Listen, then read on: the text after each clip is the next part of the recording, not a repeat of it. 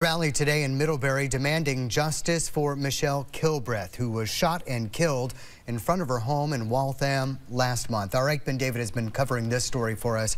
He was at that rally. Ike, what'd you learn today?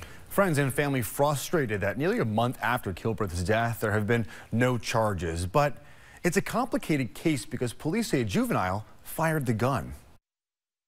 I don't know how to deal with the pain. Roxanne Bigelow spent Tuesday afternoon with friends and family on the Middlebury Green demanding justice for her daughter, Michelle Kilbreth who was shot last month. Well, I'm going to fight for justice for her for as long as I can breathe. Police say Kilbreth intervened in a dispute in her Waltham neighborhood and ended up in a physical altercation with another woman. Kilbreth brought a gun with her and lost control of it during the altercation. That's when police say a juvenile picked up the gun and shot Kilbreth multiple times. The medical examiner ruled the death a homicide. Nearly a month later, no charges have been filed, and the shooter's name and age have not been released. Bigelow is asking for accountability for the shooter and the woman Kilbreth fought with. She held her down. She pounded the hell out of her until she was almost unconscious. And he just finished the job for her, you know.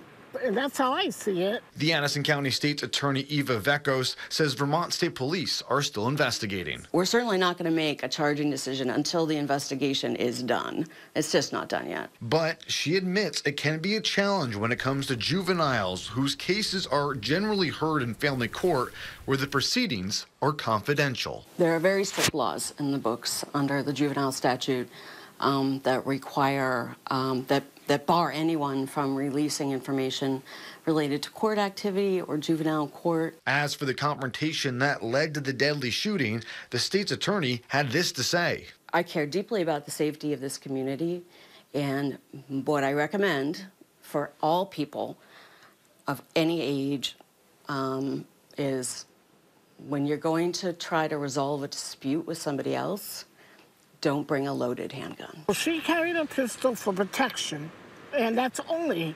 If she wanted to shoot that girl, she's an advocate hunter. She would have shot her before she even came across the street. That's not Michelle. Michelle would never be that way.